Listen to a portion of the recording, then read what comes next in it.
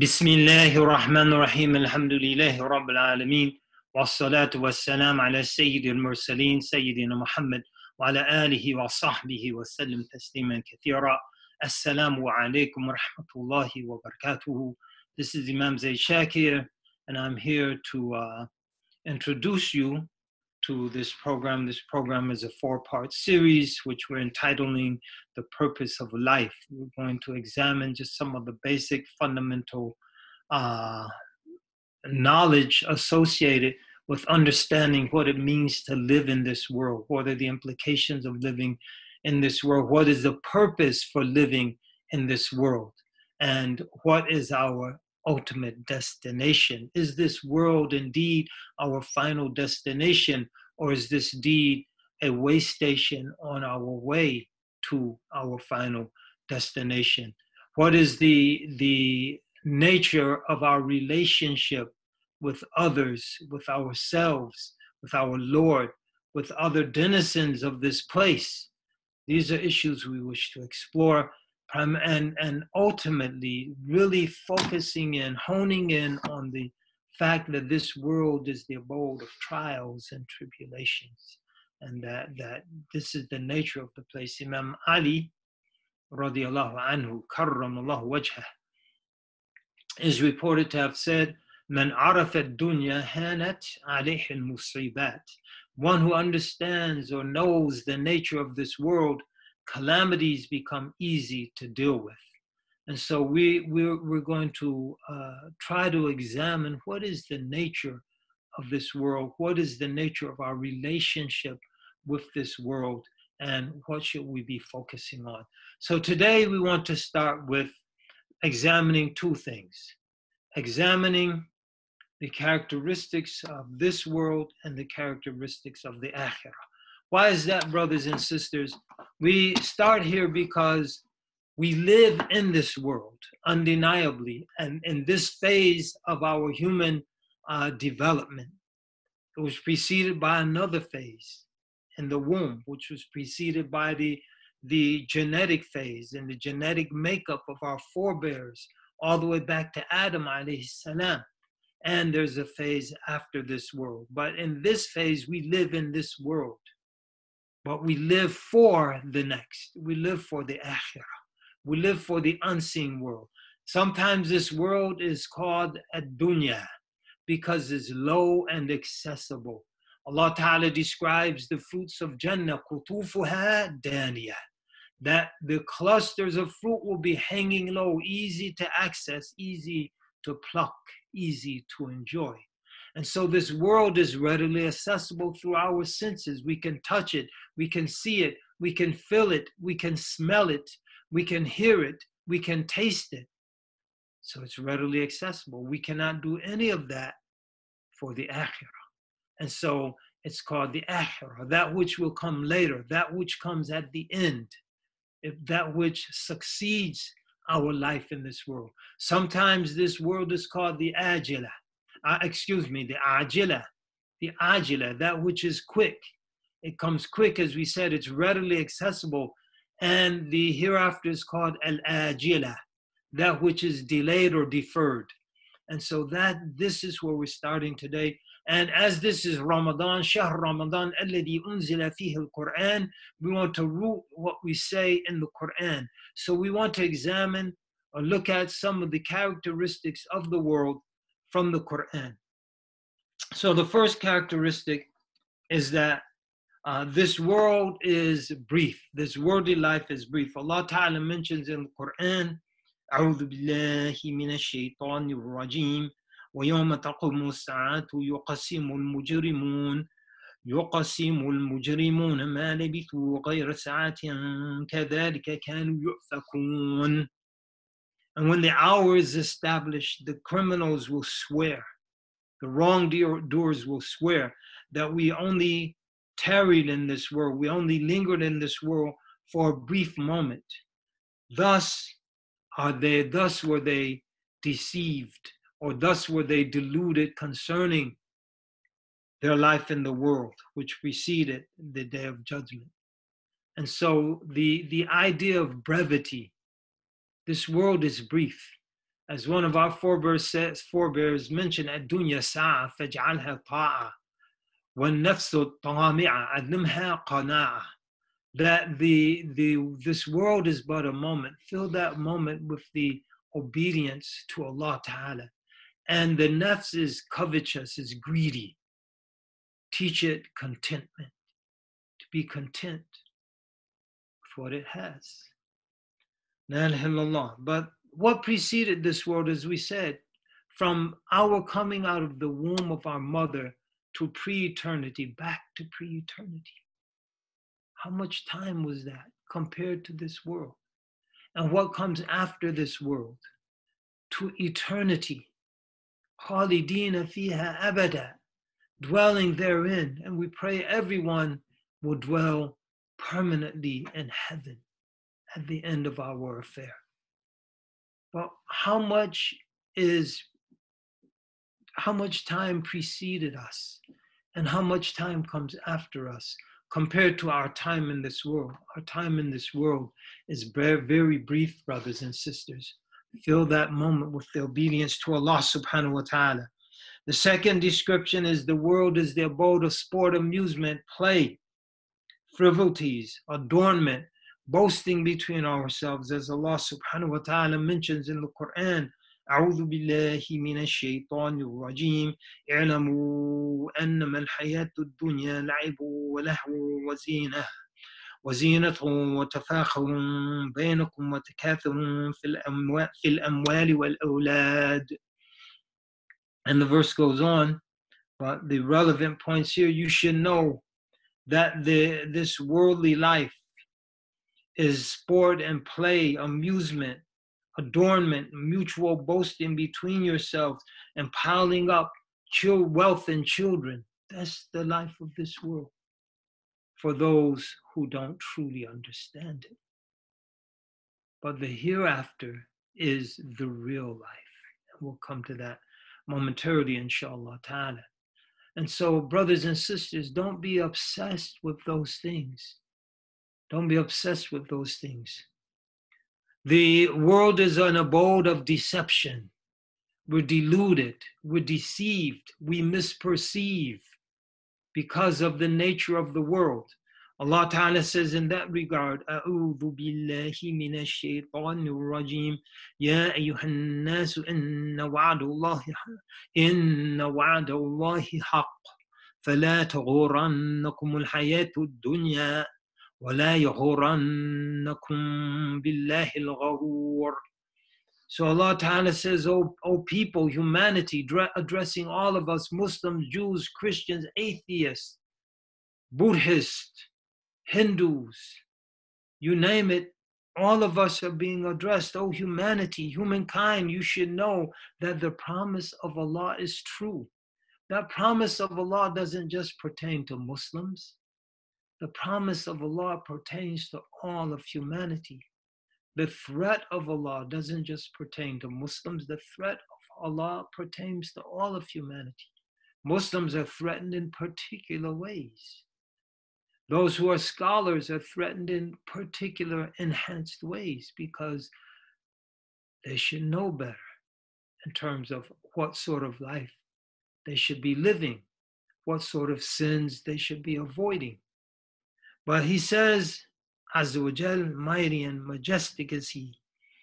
O humanity, verily the promise of Allah is truth, true, so do not be deceived by the life of this world, this worldly life, and do not be, be do not be, be do not be deceived concerning Allah by the great deceiver, Shaitan, Satan. The life of this world is an abode of straying and tyranny. Allah Ta'ala says, أعوذ بالله من الشيطان الرجيم الذين ضل سعيهم في الحياة الدنيا وهم يحسبون أنهم يحسنون صنعا Those who are astray, whose striving in this world is astray, and all the while they think that they're doing good, they're deceived. They think that their straying is guidance. And how many people in our time, in our day and time, are afflicted with that disease of the heart? Being deceived, thinking that all things that this ummah, this community of Muslims throughout its entire history has declared to be unlawful or forbidden or sinful, are deceived into believing is totally fine. It's all right. Don't be deceived, brothers and sisters, by the life of this world. The life of this world, we mentioned, is, is uh, tyranny. وآثر الحياة الدنيا فإن الجحيم هي المأوى As for one who one who behaves tyrannically and prefers the life of this world, verily hellfire will be his or her final abode. Don't be deceived, brothers and sisters by this world. Don't be, be don't behave tyrannically in this world. Allah Ta'ala has made the akhirah for those who humble themselves, for those who do not desire to exalt themselves in the world. And in the verse that mentions these three realities, the end is for those, the righteous. The righteous are those who do not desire to exalt themselves in the world, nor to work corruption therein. The implication of that those who desire to exalt themselves in the world, they do the share, the lion's share of the corruption and putting things out of their pro- proper balance. Tilka darul uh, akhirah, and this is coming in the description of the آخرة. تلك الدار الآخرة نجعلها للذين لا يريدون علوا في الأرض ولا فسادا this is the home of the hereafter. We made for those who don't desire to exalt themselves in the earth nor to work corruption therein. And the end will be for the righteous. So the ones who behave tyrannically, they are sub- uh, uh, succumbing to the enticement of the world the enticement of the world, giving the impression that fa- false power. And look, look at look at how Allah Ta'ala destroys that perception. Like there were those boasting, we we have the greatest economy in human history, as if that that was their doing and not a test from Allah subhanahu wa ta'ala. Two weeks later, three weeks later, 30 million people filing for unemployment, that greatest economy in human history totally undone. Totally undone. Because of something microscopic, we can't even see it with the naked eye. We cannot see this coronavirus with the naked eye. Man, La Don't be deceived Don't be don't behave tyrannical, tyrannically. وعباد الرحمن الذين يمشون على الأرض هونا the, the servants of Allah, of the merciful, are those who walk humbly in the earth. They walk humbly in the earth. May Allah give us tawfiq and taysir and qabul. The nature of this world is that it's, the, uh, it's an abode for debasement for those who don't do righteousness, who don't work righteousness, who don't commit themselves to caring and sharing, caring for and sharing with their fellow human beings and the other creatures that they send uh, share this world uh, this earth with Allah Ta'ala says in that regard أعوذ بالله من الشيطان الرجيم فذاقهم الله الخزي في الحياة الدنيا ولعذاب الآخرة أكبر لو كانوا يعلمون And so Allah gave them the taste of humiliation in this world a taste because what they will f- experience in the akhirah will be the full course meal. And no matter how wretched their, how debasing their punishment, no matter how painful their punishment in this world, if Allah chooses to begin their punishment in this world, what they will experience in the akhirah is cannot be compared in terms of its severity and intensity. So Allah says, uh, and the and the the torment the punishment of the hereafter is greater if they only knew. Why? If they only knew it would be a check on their actions. Brothers and sisters this is not the adventures of huck finn and tom sawyer. This is not adventure. The quran is not adventure literature. It's not the iliad and the odyssey. It's not a novel. It is guidance from the Lord of the world that we as believers are obliged to follow. And if we follow it, we won't be humiliated in this world. We will be elevated, not because of our own ego's desire, illusion of strength or power, but owing to the mercy and the grace of Allah subhanahu wa ta'ala. La ilaha This world Allahumma salli ala Sayyidina Muhammad wa ala Muhammad. It's the abode of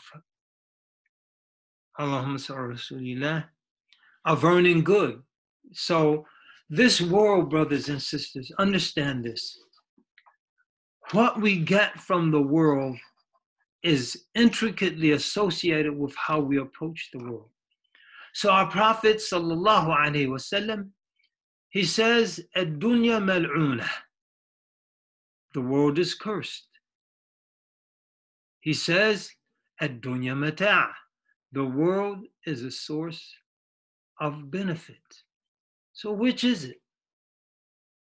It's up to us. If we uh, if we violate the commandments of Allah in the world, if we worship the world, if we are obsessed with the wherewithal of the world, if we don't give the rights that are that we owe to others in the world, then the world is cursed. But if we use the world to the, the second uh, reference, part of a, a, a, brief hadith, where our Prophet sallallahu alaihi wasallam he says, "Ad-dunya mata'a wa khayru mata'iha al-mar'atu salihah." The world is a source of benefit, and the most beneficial thing in it is a virtuous spouse. And so, if, if we work together with our spouses to assist each other in our journey to the akhirah, the world is a, is a, is a source of benefit. So, rather, it's cursed. So, there's no contradiction. Someone say, oh, al-dunya mal'una. Mal'una ma fihi. Ma fiha. Ila dhikrullah. Man walah. Kama. So we say, oh, it's cursed. It's a benefit. There's a contradiction. There's no contradiction. It depends on how we approach it. If we approach it in the wrong way, it's cursed. And if we approach it properly, it's a source of great benefit. Allah. So Allah subhanahu wa ta'ala says in terms of accruing benefit, أعوذ بالله من الشيطان الرجيم قل يا عبادي الذين آمنوا اتقوا ربكم للذين أحسنوا في هذه الدنيا حسنة وأرض الله واسعة إنما يوفى الصابرون أجرهم بغير حساب So Allah Ta'ala says, Say to my servants who believe, be mindful of your Lord.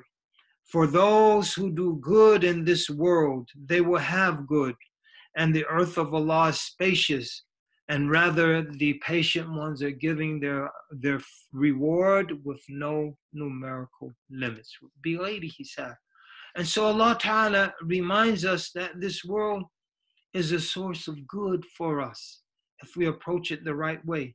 And that the earth of Allah is spacious, meaning what? If we can't do good over here, then we move over there to do good if you can't do good in America, I mean, America is so much pressure, except especially now the coronavirus. How am I supposed to focus on Allah? How can I even pray? I'm constantly distracted. Where's Allah when we need Him? If that's what your state is, you need to go somewhere else where people are not in that state and join them in the worship of Allah subhanahu wa ta'ala, as was the case of the man who killed the 99 people.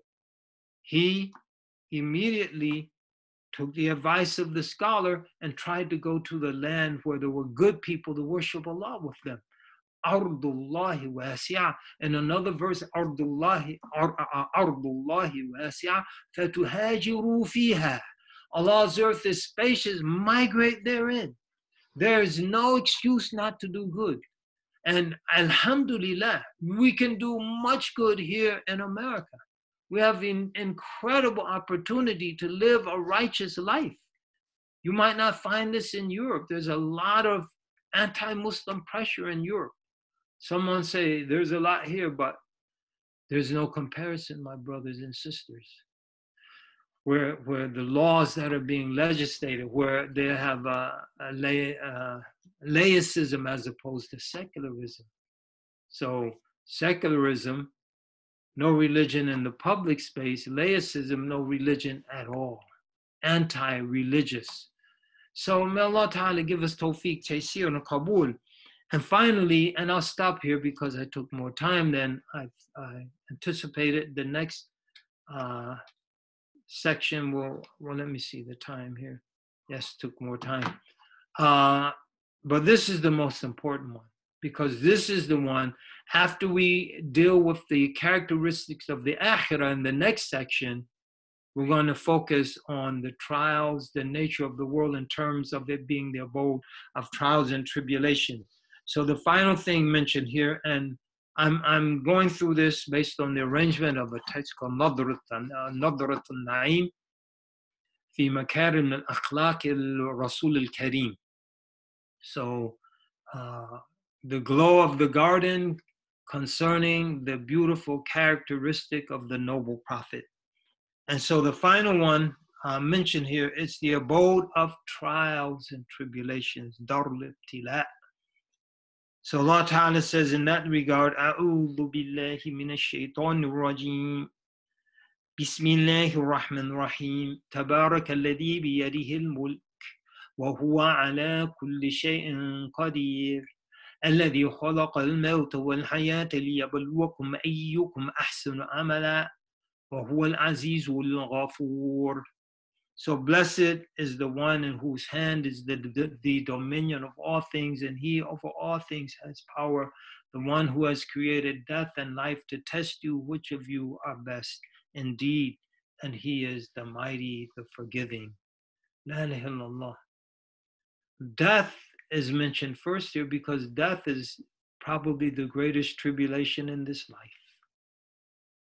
الذي خلق الموت who created death والحياة and life and the tribulations of life that precede death are far less are lesser than death ليبلوكم أيكم أحسن عملا to test you and try you which of you are best indeed so that's the nature of the world there are many verses in this regard but we'll come to those uh, after we uh, deal with the characteristics of the akhirah on our, our next uh, session.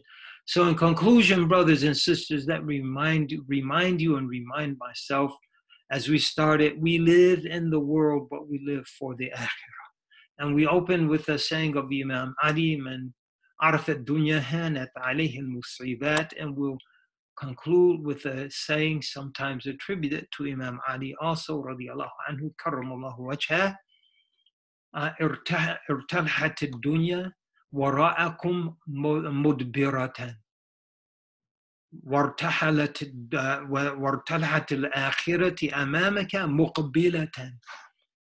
ولكل منهما أبناء أبناءه أبناؤها. فكونوا من أبناء من أبناء الآخرة ولا تكونوا من أبناء الدنيا. So the the world is behind you moving away from you.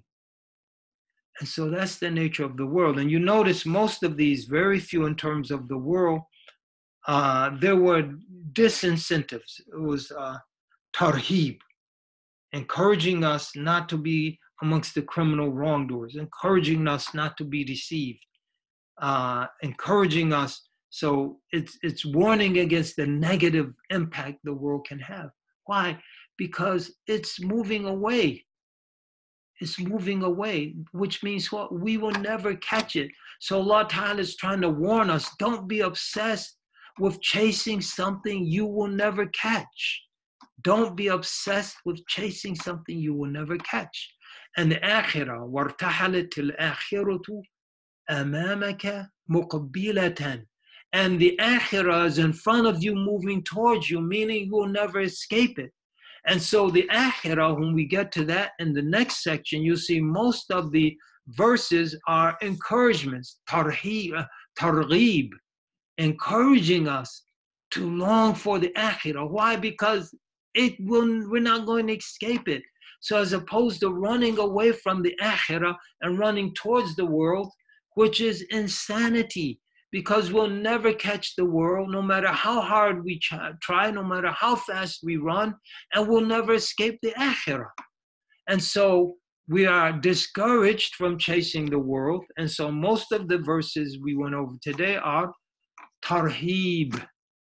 And we're encouraged to look forward to and be open to an approach and run to the akhirah. Fafiru ilallah. Flee to Allah. That's the nature of things, brothers and sisters. Don't be deceived. I took too much time. May Allah bless you, bless all of you.